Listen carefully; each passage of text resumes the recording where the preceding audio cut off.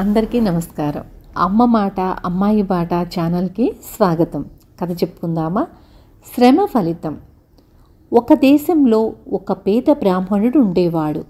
ఆయనకు ఒక చిన్న ఇల్లు చిన్న పెరడు తప్ప ఇంకేమీ లేదు.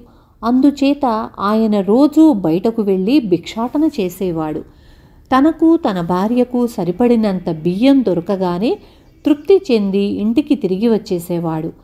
భార్య ఆ బియ్యం వండేది. పెరట్లో ఏదైనా కూర కాయ కాస్తే దానితో ఇద్దరూ భోజనం చేసేవారు. కాలక్రమాన బ్రాహ్మణుడు పెద్దవాడైపోయాడు. భిక్షాటనకు పోవటం కూడా బాధే అనిపించింది. అప్పుడు ఆయన భార్య అంది మీరెన్నడూ రేపు గురించి ఆలోచించిన పాపాన పోలేదు. ముందే జాగ్రత్త పడి ఉంటే ఇవాళ మనకి చిక్కు లేకపోయేది. అయినా ఈ ఊరి రాజు చాలా దానశీలుడంటారు. ఎంతోమందికి దానాలు చేశాడు. మీరు వెళ్ళి అడగండి. ఆయన మన దరిద్రం తీరుస్తాడు. బ్రాహ్మణుడు ఆ ప్రకారమే రాజును చూడబోయి ఆశీర్వచనం చదివాడు. రాజు ఏం కావాలో కోరండి అన్నాడు. అయ్యా తమరు సంపన్నులు. కానీ తమ సంపదలో నేను భాగం అడగను. తాము శ్రమపడి సంపాదించినది తృణమో ఫణమో ఇప్పించండి అన్నాడు బ్రాహ్మణుడు. రాజు దగ్గర చాలా ధనం ఉంది కానీ అందులో ఒక్క దమ్మిడి కూడా తాను కష్టించి సంపాదించినది కాదు. ఈ బ్రాహ్మణుడికేమన్నా ఇవ్వాలంటే తాను కొత్తగా సంపాదించవలసిందే. రాజు బ్రాహ్మడితో అయితే రేపు సాయంకాలం కనిపించండి అన్నాడు. బ్రాహ్మడు సరేనని వెళ్ళిపోయాడు. మర్నాడు ఉదయమే రాజు మాసిన బట్టలు కట్టుకొని కూలివాడిలాగా బయలుదేరాడు. అలా ఆయన కొద్ది దూరం వెళ్ళేసరికి వీధిలో ఒక కుమ్మరి కుండలు చేయబోతున్నాడు. అయ్యా నాకేదైనా పని ఇవ్వగలరా అని రాజు కుమ్మరిని అడిగాడు.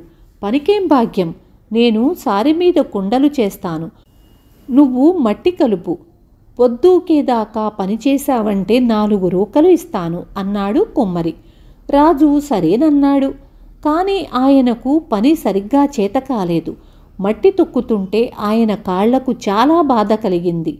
శరీరం అతి త్వరలోనే అలసిపోయింది. ఇదంతా గమనిస్తున్న కుమ్మరి నీ వల్ల కూలి పని ఏమవుతుంది? పద పద. మాట అన్నాను కనుక ఇస్తున్నాను. ఇవిగో రోకలు. మళ్ళీ ఎన్నడూ కూలి చేస్తానని రాకు అని మందలించి రాజును పంపేశాడు.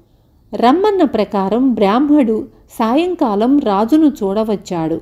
రాజు ఆయన చేతిలో నాలుగు రూకలు పెట్టి ఇదే నా శ్రమ ఫలితం అన్నాడు. అదే నాకు పదివేలు మహారాజా అని బ్రాహ్మడు రాజును హృదయపూర్వకంగా ఆశీర్వదించి వెళ్ళిపోయాడు. తన భర్త రాజుగారి వద్ద నుంచి బహుమతులు ఎన్ని బళ్ళ మీద తోలించుకు వస్తాడో అని ఎదురుచూస్తున్న బ్రాహ్మడి భార్య తన భర్త ఒట్టి చేతులతో రావటం చూసి ఏమండి ఏమయ్యింది? రాజు మళ్ళీ వాయిదా వేశాడా? అని అడిగింది. లేదు దానం తీసుకునే వచ్చాను. ఇవిగో నాలుగు రూకలు అంటూ బ్రాహ్మడు రొంటి నుంచి తీసి భార్య చేతిలో పెట్టాడు. వాటిని చూడగానే బ్రాహ్మడి భార్యకు మండిపోయింది. కాశీ వెళ్ళి కొంగ ఈక తెచ్చినట్లు రాజు దగ్గర కూడా ఈ యావారం డబ్బులేనా తెచ్చేది అంటూ ఆమె ఆ నాలుగు రూకలు పెరట్లోకి విసిరేసింది. అప్పటికే చీకటి పడిపోయింది. అందుచేత బ్రాహ్మణుడు వాటి కోసం మర్నాడు తెల్లవారి వెతుకుదామనుకున్నాడు. మర్నాడు ఎంత వెతికినా ఆ రూకలు దొరకలేదు. కానీ నాలుగు అపూర్వమైన చిన్న మొక్కలుగా మాత్రం కనిపించాయి. చూస్తుండగానే ఆ నాలుగు మొక్కలు అందంగా ఏపుగా పెరిగాయి. త్వరలోనే వాటికి కాయలు కాశాయి. బ్రాహ్మడు భార్య ఆ కాయలు కోసి ఏ రుచిగా ఉంటాయో చూద్దామని వాటిని తరిగేసరికి కాయల నిండా ముత్యాలు కనిపించాయి.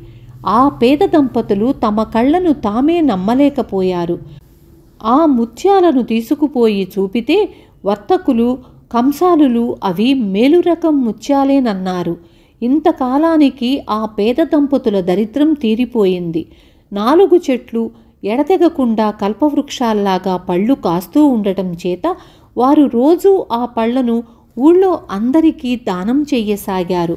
కొద్ది కాలంలోనే ఆ ఊరి రాజుకు ఈ బ్రాహ్మడి సంగతి తెలిసింది. తనను శ్రమదానం యాచించి నాలుగు రూకలు మాత్రమే పట్టుకుపోయిన ఈ బ్రాహ్మడికి ఇంతలోనే ఇలా సిరి ఎత్తుకోవటానికి కారణం రాజుకు బోధపడలేదు. ఆయన ఆ విషయం తెలుసుకుందామని బయలుదేరి బ్రాహ్మణుడి ఇంటికి వచ్చాడు. అయ్యా ఆనాడు మీరిచ్చిన నాలుగు రూకలు నేను ఖర్చు చెయ్యనే లేదు. నా భార్యకిస్తే ఆమె అలిగి వాటిని పెరట్లోకి పారేసింది. మర్నాడు అవి దొరకలేదు కానీ ఈ వింత చెట్లు మొలిచాయి. వీటి నుంచి మా తరతరాల దరిద్రం తీరిపోయింది అన్నాడు బ్రాహ్మణుడు. శ్రమ ఫలితం విలువ రాజుకు అర్థమయ్యింది. ఆనాటి నుంచి తానే కాక తన ప్రజలంతా శ్రమ ఫలితంపై జీవించాలని రాజు శాసనం చేశాడు. విన్నారు కదా మనకి ఊరికే వచ్చిన దాన్ని మనం అనుభవించినా తృప్తిగా ఉండదు. మనం కష్టపడి సంపాదించిన దాన్ని అనుభవిస్తే మనకి చాలా తృప్తిగా ఉంటుంది. రేపు మళ్ళీ ఇంకొక మంచి కథతో మీ ముందుకొస్తాను.